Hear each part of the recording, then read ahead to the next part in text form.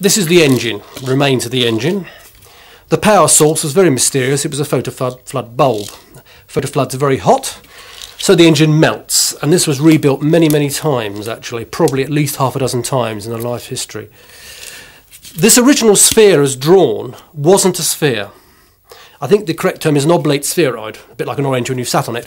And, um, but it was much easier to make it as a sphere. And so actually, this was actually just a genuine two hemispheres of perspex, tinted green, and with the, the stripes applied to it. It's as simple as that. An image of a spaceship like the Liberator on the screen can be done in various many ways. I mean, using a model is actually only one way. Some things can be done with cutouts of a model or even artwork animated against a background. It's done in movies, it's done in television.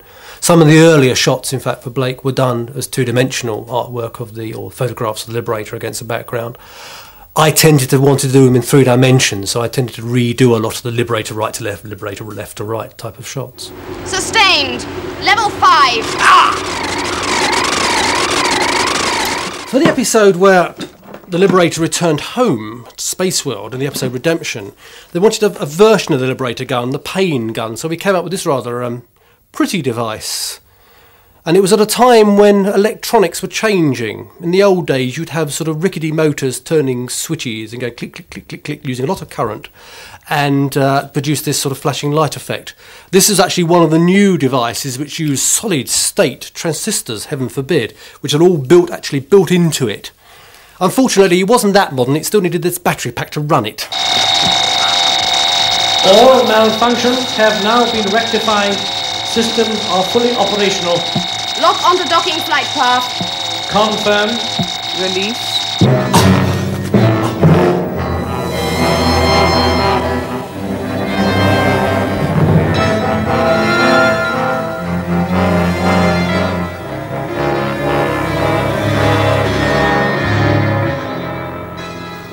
The Liberator design actually spawned another craft. This is also from the episode Redemption, and they used the same sphere. These were supposed to be fighter versions. They had the same trouble with the prongs, which are always getting bent.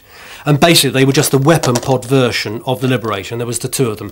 They had the same light source in the back, which had the same problems that if you left them on for too long, they melted. For season two, I tended to do just the model filming. I did a couple of studios as well, whereas my colleagues Peter Pegrum and Andy Lazell did the studios. So we were actually sort of preempting what actually is becoming the norm now. We actually sort of did it probably for the first time. So it did mean that I could actually get a file together of, of various uh, drawings, photographs, proper shot lists of things, of actually what was going to actually be happening within any particular storyline.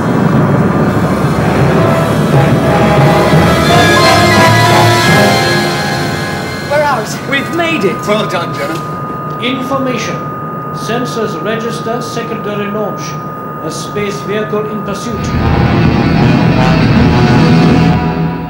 I suppose the second most famous ship after the Liberator were the pursuit ships. The Liberator was the goodies, the pursuit ships were the baddies. Now we had two sizes of these. This actually is the larger one, is actually one of the vacuum form ones that would have been blown up. I'm not quite sure how this one survived. Normally, if it's available to be blown up, we'll blow it up. This one actually has survived, more or less, but you can see the, the lightweight structure, or the flimsy structure of that particular one.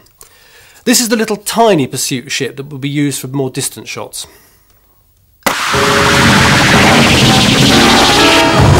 I often get asked, well, somebody asked me once, uh, what do you actually build the models out of? And which the easy reply is anything and everything. Um, the days are still there when we go down to the local Woolworths or whatever, or DIY store, and we rummage around and look for things like, oh, it's a nice lampshade, that will make a nice spaceship. On the logic that really a spaceship can be anything. There's a ship. It's coming in for a surface landing. Have they spotted you? I've got the detector shield up. What sort of a ship is it? I don't know. It's a new type to me. It was on the screen for approximately one and a half seconds. Now, you can't really justify spending a lot of money building a model for one and a half seconds on the screen, so I basically took two hairdryers and stuck them together.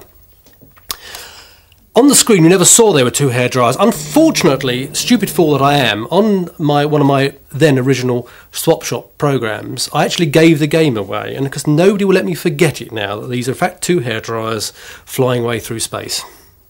The effects on Blake were like any other effects program in that they were a team effort. So we had several people working on it over the, particularly over the four seasons. I, Ian Scoones started. I came in on season one.